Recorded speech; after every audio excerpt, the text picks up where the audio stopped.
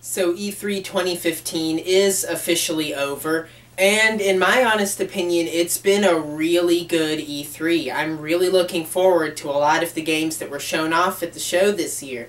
And the rest of 2015, if this E3 is any indication, is shaping up to be a pretty good year. So I figured the best thing to do at the end of this show is to talk about this show. We're going to take a look at some of the biggest individual highlights of the game and run down some of the strengths and negatives of the presentations of each of the three major publishers. Now there were some great games that got shown off at E3 this year. There were the expected ones, Halo 5, Gears 4, Uncharted, Black Ops 3, the ones everyone expected to see, you know, Fallout 4 obviously, which, take my money now, Bethesda. Now! but Anyways, there were also some other really cool games that I was really excited to see at E3. Of course, it was great to see more of games like No Man's Sky, which I'm really excited for, and Tacoma, which looks great. Um, ReCore is one I just heard about, and it looks fantastic. I'm extremely interested in ReCore. Uh, the new Tomb Raider game, obviously. Dishonored 2 had an amazing trailer at E3 this year. XCOM 2, I'm really excited for. Uh, the Gears of War collection, in addition to Gears 4, which, eh, I mean, okay, a collection. They're HD. New Hitman game, of course, the Final Fantasy VII remake, which just blew, kind of blew up the internet. Kingdom Hearts 3. There, there have just been so many great games to come out of E3 this year. And with a lot of them coming out just later this year, it's shaping up to be a really great Christmas season. And going into the first quarter of 2016, there's just so much good stuff on the way fairly soon that I cannot wait to get my hands on. Rainbow Six Siege, forgot to mention that one. Got another trailer at E3. Extremely pumped for that game. Cannot wait to play it.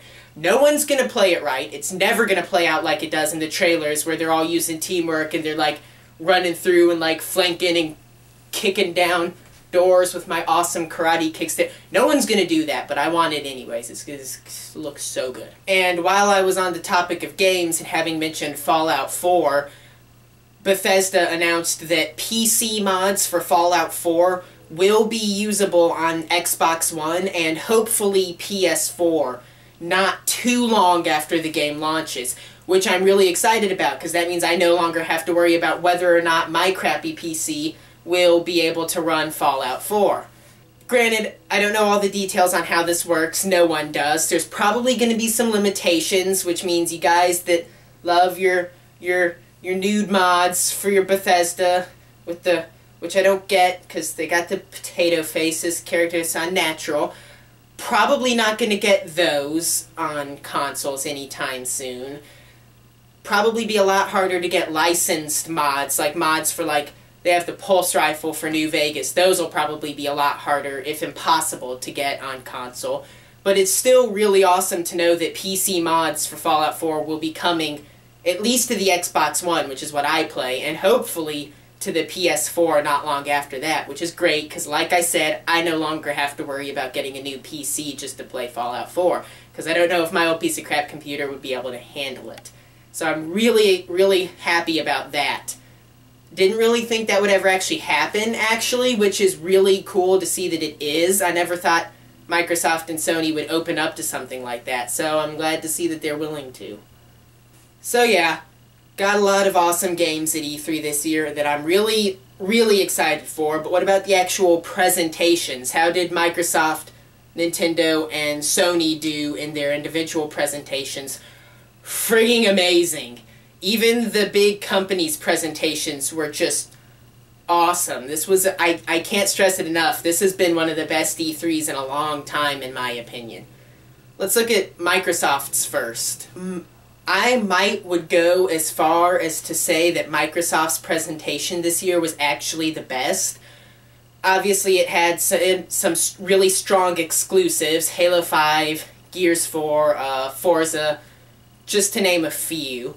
But they also gave a lot of attention to indie games on the Xbox One, which was really refreshing because the 360 really lacked indies compared to uh, compared to Steam and the PS3. The 360 had very few standout indie titles, so to see that Microsoft is actually putting a lot of emphasis on that with the Xbox One is really great.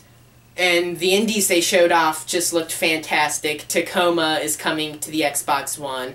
Cuphead, the game with that art style like the old 1920s cartoons, I am really interested in playing that game. Um, Gigantic, The Long Dark, which God, yes. Um, Ashen, just just a ton of really cool looking indie games coming to Xbox One, which I was really, again, really glad to see that Microsoft learned from the mistake of of just avoiding indies altogether on the 360. They've learned from that and they're bringing those to the Xbox One, which is great. Aside from that, they showed off a couple of cool new first party properties. Uh, Sea of Thieves, in particular, I was really interested in. That one's coming from Rare. I love the art style. The trailer they showed off looked pretty interesting. I'm definitely going to be keeping my eye on that game. They showed off the HoloLens, which looks pretty cool. Not sure yet. Gonna hold off making any kind of judgment until release. But what we saw this year looked pretty cool. Certainly looks like it has potential to be a better peripheral than Kinect was, at least. God, I hope. And they also showed off 360 backwards compatibility for the Bone now. They're basically building a 360 emulator for the Xbox One that will let you play your games as if you're playing on a 360 which I can understand why it's taken this long. The architecture for the Xbox One as opposed to the 360, totally different. I can understand why it took this long, but still, I'm really excited to see that that is finally coming. That's been something I've been looking forward to for a while. So overall, I'd say this has been Microsoft's strongest E3 in quite some time.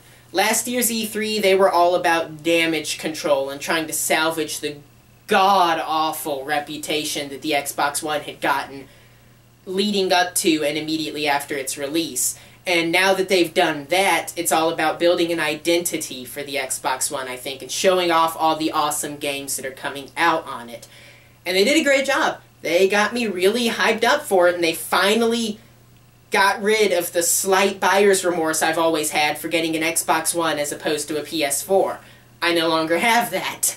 I'm, I'm very excited for the games that are coming out on the Xbox One later this year. Microsoft did a great job at E3 this year, and I'm really looking forward to what comes out of them in the next few months.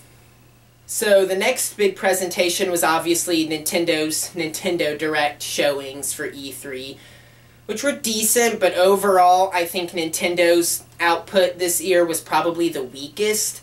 They showed off some good looking games, don't get me wrong. A lot of what they showed looked really fun, but they lacked a big exclusive or a big reveal to draw you in like 3 or excuse me, Xbox 1 and PlayStation 4 had. They showed off a bunch of smaller little titles that all look fun, but their show would have really benefited from like a trailer for that new Zelda that they've been talking about for the Wii U, the one that got pushed back to next year doesn't have even have to be anything big, but just a trailer or something about that to get fans hyped up again really would have benefited Nintendo this year.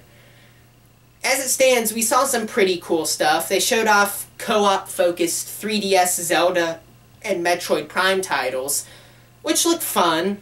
I might have to give those a shot. Um, we got trailers for Xenoblade Chronicles X and Fire Emblem Fates, which is great, of course.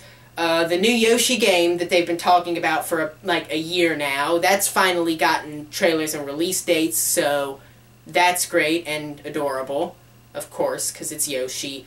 The house building Animal Crossing game looks like it's going to destroy lives because it's taking the most addictive part of Animal Crossing and building a whole game around it, and it's going to eat people's lives away because that's what Animal Crossing does. I'm still really excited for Super Mario Maker. Maybe it's just my inner amateur indie hipster game dev nerd coming out, but the thought of a game that basically lets you build your own Mario game I'm really interested in playing that one. I really want to give that one a shot, so it was great to see that this year. And then finally, the one really big exclusive that Nintendo had was Star Fox Zero, which I'm not sure yet. Of course, it's Star Fox. Star Fox is always great. Uh, and I trust that Nintendo will make a good final product. But what we saw this year did not make the best first impression. The control scheme, from everything I've seen, seems really clunky and hard to get a good grasp of. Everything I've heard about it said it was very difficult to use at first, looked confusing. I have hope that Nintendo will salvage it, but it didn't make the best first impression, I'm not gonna lie. Overall, Nintendo showed off some fun-looking games. They've got some stuff that I'm actually excited for, but the presentation lacked the, the scale and, and size and just impressive scope of Sony and Microsoft's. And with the Wii U really struggling like it is now, and the rumors already circulating about Nintendo making a new console, I believe that might have been confirmed. I can't remember off the top of my head. But with the Wii U really failing like this, Nintendo needed to show off something big. They needed to do what Microsoft did this year and they didn't. They played it a little too safe, I thought. They showed off some fun stuff, but I was hoping for a little more. And finally, Sony's presentation. Holy crap, Sony's presentation. Microsoft's was stellar. I wasn't sure Sony could compete, but oh boy did they. Oh boy did they. For starters, there's the fact that The Last Guardian and Shenmue 3 got trailers they officially exist. The Last Guardian and Shenmue 3 officially exist. Shenmue 3, it broke the record for the fastest Kickstarter ever completed. It earned $2 million in, I believe, like an hour and a half. That's how big this announcement was. Between those and Fallout 4, if we had heard about Half-Life 3 at this E3 as well, the internet would have imploded in on itself from all of the hype and oh my god, Shenmue 3 and the Last Guardian. That's that's I that it's that right there was enough to make this an amazing E3 for Sony. But they also showed off a bunch of other great games. Of course, they had the Final Fantasy VII remake, which, you know, personally, I questioned the necessity of a remake, but at the same time, the reaction it got was kind of universal, oh god, yes. So, you know what? I'm going to suspend my judgment because I have to admit it looked pretty awesome. Of course, with No Man's Sky being a PS4 and PC exclusive, we saw some stuff from that at Sony's presentation, which, again, No Man's Sky, I can't get enough of that. I must play that Another game at Sony's presentation that really grabbed my attention was Media Molecule's Dreams, which looks really interesting. I, if you haven't already seen the trailer for that, I strongly recommend you look at that game. That was... I'm really interested in that one. Um, really, the only big weak part of Sony's show I can think of was they kind of really glanced over the Vita in any way, which is disappointing that Sony seems to just kind of be letting the Vita die off. And their big Black Ops 3 kind of demonstration that they showed off, because they are partnered with Activision a bit for Black Ops 3, that was just kind of meh. I'm a little burnt out on Call of Duty, not gonna lie, so Black Ops 3 was not even on my list of things I cared about, and I thought that was a pretty disappointing way to lead out the show. But overall, Sony had a phenomenal E3 this year as well. Great exclusives, great indie titles. It was just Shenmue 3 and The Last Guardian. I don't think I even need to say anymore when I'm discussing Sony's E3 presentation this year. I, I, I, I, I don't, I don't even know. I can't even say it. Word, I, I'm gonna stop.